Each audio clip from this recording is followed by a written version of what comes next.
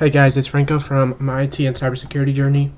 I know I'm wearing a headset, but I'm working on the audio. This is probably the best form of audio I have right now. Uh, so I wanted to use it just cause you know I know I know I can't sit through a video with bad audio quality, but you know I'm, I'm working on it until I can afford to buy a mic. So anyways, to give an update, um, a lot has happened since I last uploaded. Um, I've been, you know, I know I haven't uploaded in a while, but it's because I've been busy. So as you can see here, last video I made, if I remember correctly, was on critical thinking and logic, which was finished in about four hours. As you can see, afterwards I did ethics and technology. So I'm gonna go over the courses and tips I'd give to students um, when taking them. So in regards to ethics and technology, when you go into ethics and technology on the right hand side, there's going to be uh, a video library under the announcement tab. Ethics and technology is really easy. It's like critical thinking and logic, just like that, in the sense that it requires just common sense to be to be able to pass the class material. So, what I would recommend, which is what I did, is I went through the I followed the course instructions from the course instructor, which was to go into the video library under the announcement tab and just watch the videos and take notes on uh, the videos for the first four units. Write some acronyms. There's a couple acronyms in there. You have to um, learn some of the fallacies and stuff.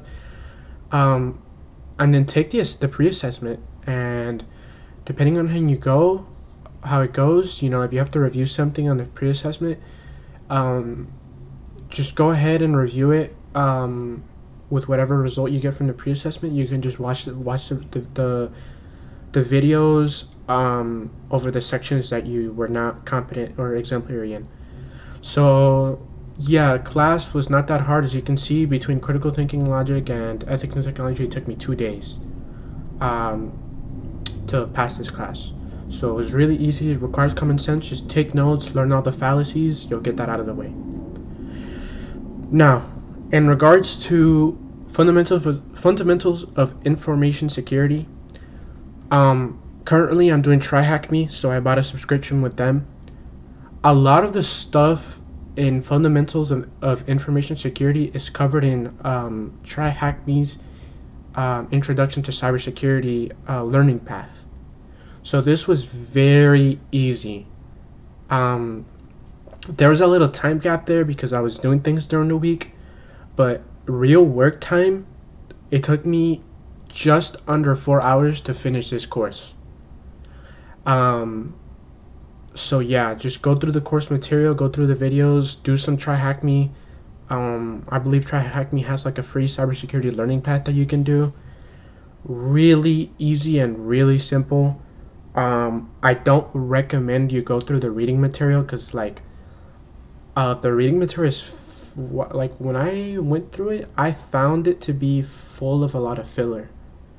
So, if you want to get down to the nitty gritty, it's just you know just stick to TryHackMe and watch the videos. This one has video uh, video library as well, um, and take notes. So yeah, but besides that, uh, fundamentals of information security was really easy.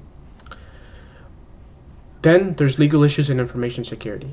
This was a performance assessment, as you can see this class, uh, I'm officially done with it as of today. I'm just waiting for them to evaluate my paper.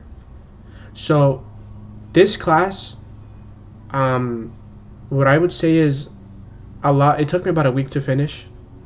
It's hard in the sense that you it, you can get overwhelmed with it really quickly, but you can knock this out in eight hours or less if you really stick to it. I kind of slacked with it. Um, so it took me about a week and three days, but total work time was probably like six hours. Um, regarding this class, depending on the course instructor, they will send you an email. Um, you're basically writing two. You have two tasks. Task one, you're writing like a report on the case study of like you're basically using everything you learned in ethics and technology and fundamentals of cybersecurity, and you are writing it into an essay that shows that you understand the material. So, some big points I would make for this are to learn your laws. So, learn the Sarbanes-Oxley Act. Go on YouTube for that. There's you'll, you'll there's a couple videos which are really uh, really good. I think one of them was by a channel by the name of um, Red Team Cybersecurity. Learn the CFAA, so the Computer Fraud and Abuse Act, um, and learn the ECPA, which is basically just an act that you know states that intercepting communications and um, without authorization and you know um, sharing those communications with another third party without authorization is illegal. Learn those three, and the ethic part. That's task two. That's task one. Task one has to do with more laws, and um, how those laws were broken. Task two deals more with the ethical side. Um, I found task two personally to be easier than task one because I knocked task two uh, quicker. Um, but it's really easy. The course instructor will send you videos that you can watch to follow along while you write the essay. That's what I did, and that's what I would recommend you do. They will send you an email um, with the task resources, so they'll give you templates. Um, I did mine in Microsoft Word, Word for both. They give you templates. All you have to do is fill it in, put in your name, and you can turn it in. So, and then just follow along with the task videos. So that's for C480, C841, Legal Issues and Information Security. Definitely out of these classes, it was the hardest because of the workload.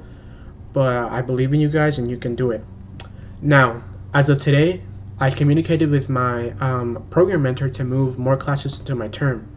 Because the way it works is these classes right here, except for the orientation, these four classes were in my original term she had set me up to where this was going to take me the um, the the full six months, but I did it earlier than that. So um, you have to contact your course instructor, and then all you basically do is you like slide the class over, so you just move it in, um, and then you create your own plan, and then they just approve it. So this will be my first.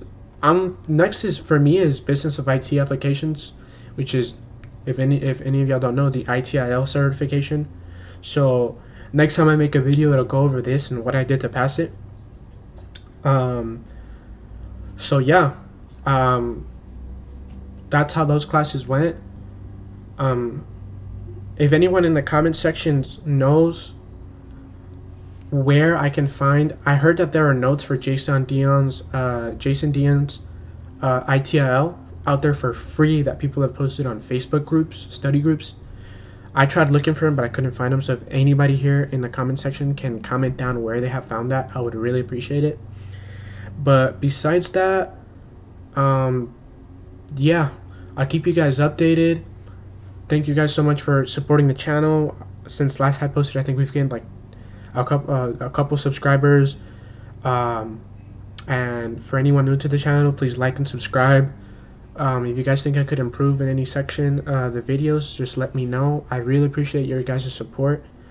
And yeah, keep updated because you know I'm I'm here to help you guys uh, to show that it is possible to do this. And yeah, thank you guys for watching, and I'll see you guys on the next one. Bye.